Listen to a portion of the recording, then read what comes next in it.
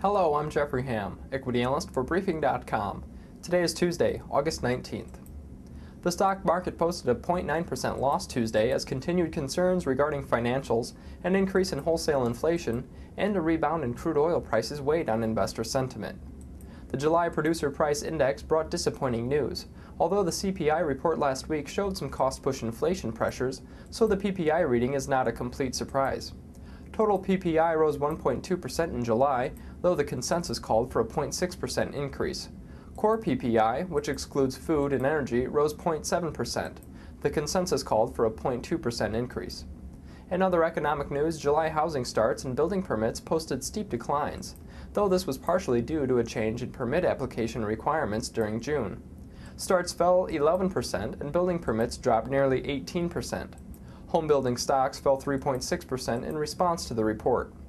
Eight of the 10 economic sectors posted a loss in broad based weakness. The financial sector, which ended 3% lower, acted as the main drag.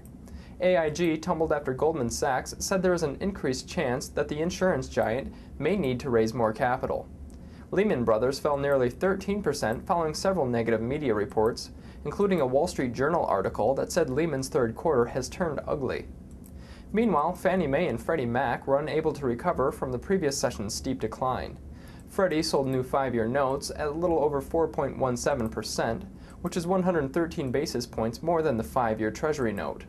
The large spread over Treasuries indicates market participants continue to show some apprehension regarding debt from Freddie, despite the implied guarantee from the U.S. government. Consumer discretionary stocks also came under pressure, with the rise in crude prices and discouraging news from several retailers prompting the selling interest.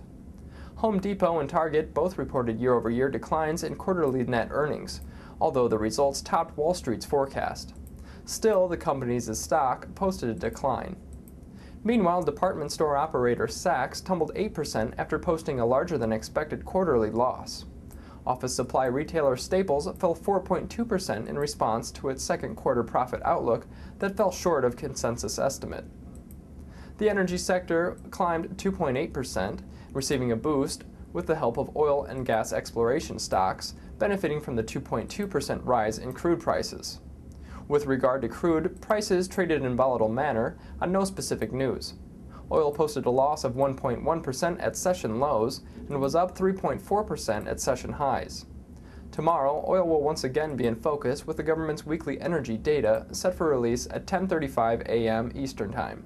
I'm Jeffrey Ham for briefing.com. Thanks for listening and have a great evening.